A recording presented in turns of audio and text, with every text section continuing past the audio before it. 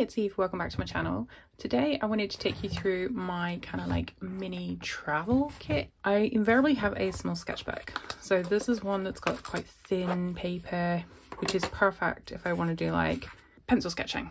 Like that's quite a fun activity.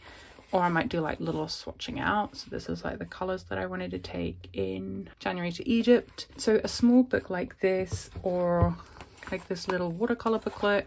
Again, it's another one that I might like take out and just do sketching and like little watercolor sketchy things. It depends on the materials that I think I'm going to use as to which sketchbook I take with me, but generally they're on the smaller side. Recently, I bought this. It's a little I think it's designed for like oils or maybe like like turpentine or something. So I haven't actually used it, but I bought it because apparently you can put it on like a piece of card.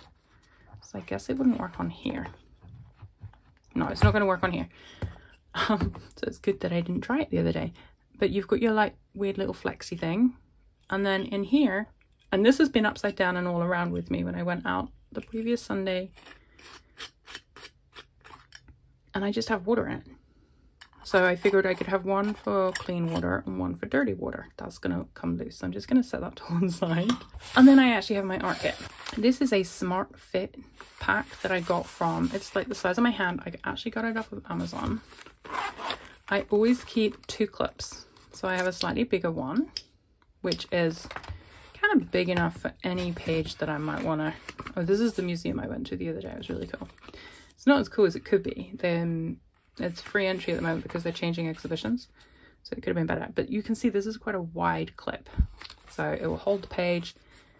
And then I have a smaller bulldog clip as well, just in case I want to hold everything completely flat. So those are the ones I normally take with me. In terms of supplies on the inside, I have an eraser. I don't always take this. It depends if I think I'm going to be doing more drawing or more painting. If I feel like drawing is going to be key, I take this. And if I think painting, then I don't. I have a simple ruler for straight lines because I'm rubbish with perspective. I have a selection of Pigma microns, which are always handy if I want to do some line drawings. A white Sigma, Sigma Signo in case I want to add highlights to anything. I've got my mechanical pencils, which I really love. This one is a 0.72B. This one is a 0.3 and is currently an H. And I have another one that's 0.5 coming to use with my 2H leads, just so I've got a variety of tone when I'm drawing. I also have this water-based Tombow mono drawing pen.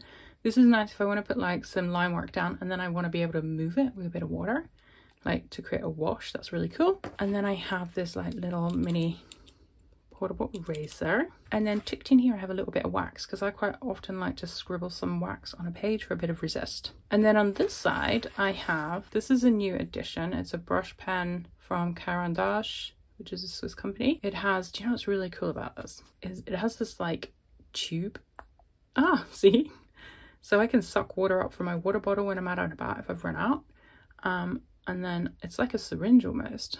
I can make it smaller, as small as I want to fit it back into my art kit. This is a water medium wash 4B sketching pencil. So again, I can use it on the page. If I want to add water, I can. This is just a standard, sorry, a standard graphite. So a B, 5B, just if I want to get some heavy marks down. Refill. I don't always take these with me. Normally I would make sure that I have enough leads in the pencil but because I'm actually preparing to travel next week I've actually loaded this in ready and then I have two well actually let's deal with the odd bits first so I have like a little bit of putty eraser I need to find something to put it in someone said something like a contact lens case but I don't take I don't use contact lenses and I think that might be a bit extreme for a tiny bit of putty and then I like things like this for when I'm out if I'm using watercolor I just like things that can make like this I can blow through this was the it came off of a brush, like a protective layer for a brush, but I can blow through it. See? Um, so if I want to move any wet paint around, I can. Not that I always have a lot of wet paint, but you know, it's there. This is in case I want to put something on or scrape or anything. It's just a bit of clear plastic. And then this is, I think from like a washi tape or medical tape, I forget but it's just a circle in case I want to like make marks or draw or something. So I keep that contained there. And then these are my two brushes that I have with me. This is a silver or a Tintoretto. I think this is the silver brush. It's very fine. You see. I can get really, really lovely fine lines with this one. And then this one, ooh, this one is a bit more, this one is the Tintoretto, Tintoretto number two.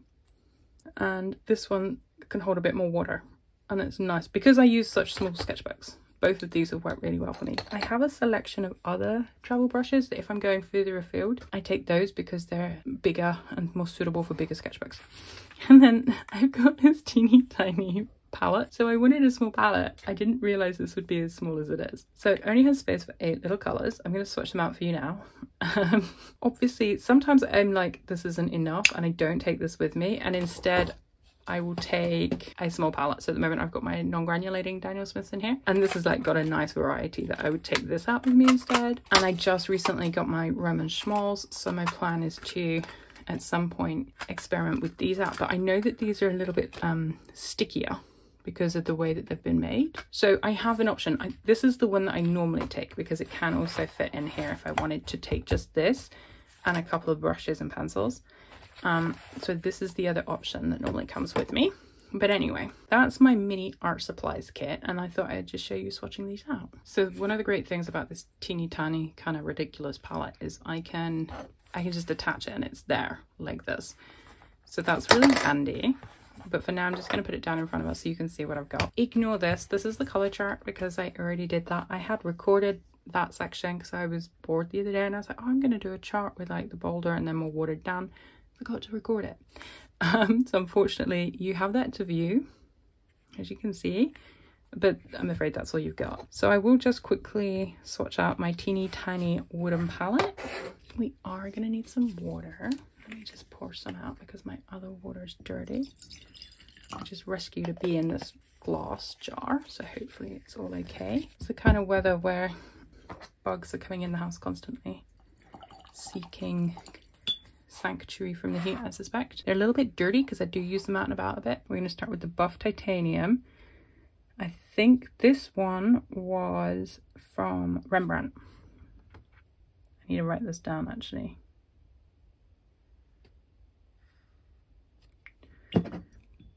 Because I got this one before I got the Daniel Smith one. And the reason I got it is because people had said how beautiful it was, and it really is beautiful.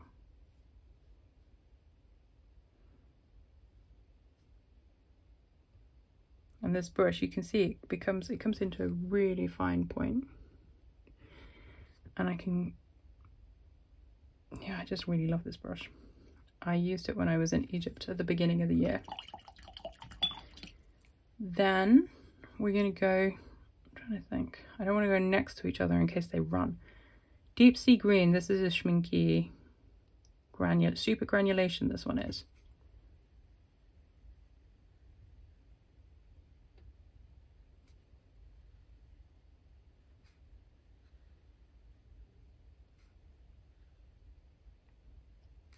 Can see it's separating out already.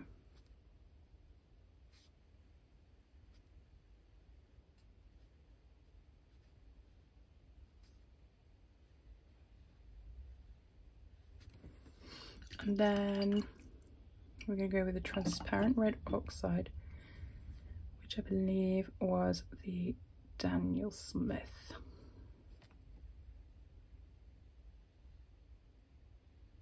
I love these two colors together. So basically this mini palette is just filled with colors that I happen to love prior to organizing my palettes. Oh, I love this. It's so beautiful.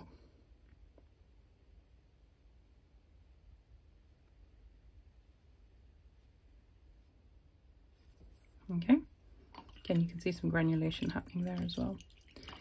And then the Sodalite Genuine is of course Daniel Smith.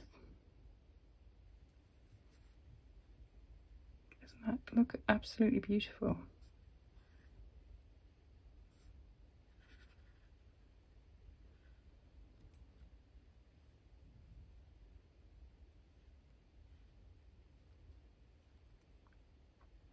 Add a bit more mass tone. So pretty.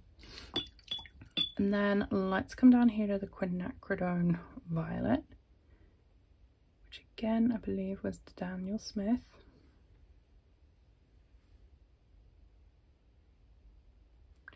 Or is it the Schmincke? Hmm. Do you know what? I don't recall which one it was. I'll double check and I will let you know in the comments. I feel like it was Daniel Smith. Quinacridone Violet.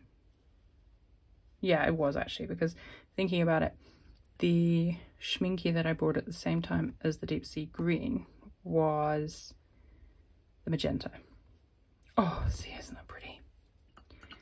Then we're going to go up to Serpentine Genuine, which we also know as a Daniel Smith. Look at that, it's going to be beautiful.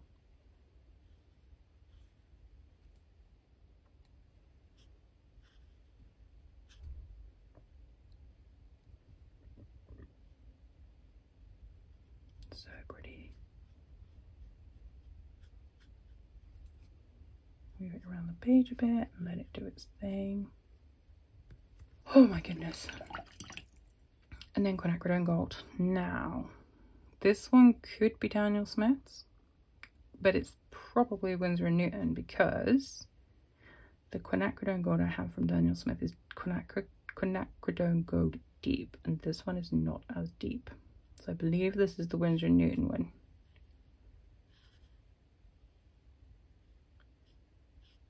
Look at that. Pretty. And then finally we have Pyrrole Red. And I, this was Daniel Smith's as well because I remember when it came at the same time. Oop, a bit more. Should have wetted these up to begin with.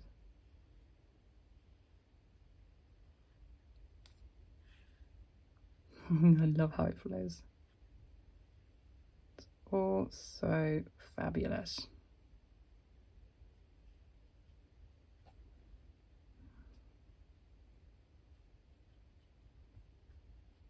Just like throw a bit more colour there. Okay, so you can see it's like a very nice simple palette. They're obviously not dry yet, but you can see that from these colours I can get some lovely variations. They're really pretty. Um, so number six, number six, obviously deep sea green. Look at that. Isn't that just the most beautiful colour? But there's so many options like, obviously it would make for a vibrant, well, it does make for vibrant paintings when I'm out and about. Well, they're not really paintings, they look sketches. I just think they're so lovely. I love a small palette that's just filled with bright colours. And I think the Buff Titanium is a nice kind of like, if I want to like just tone anything down, it works really nicely. You see the Serpentine Genuine, how it's already granulated out into separate colours. We've got like a slightly pinky brown and then the green. so happy. So that is my teeny tiny palette swatched out from my little travel kit. It was my travel art kit, art travel kit, travel art kit. I'm not quite sure which way around I'd say it. Basically, it's my little art kit that I take with me. And yeah, I hope you enjoyed that. Give it a thumbs up if you did. Subscribe if you want to see more videos from me. And thank you so much for watching. Take care. Bye.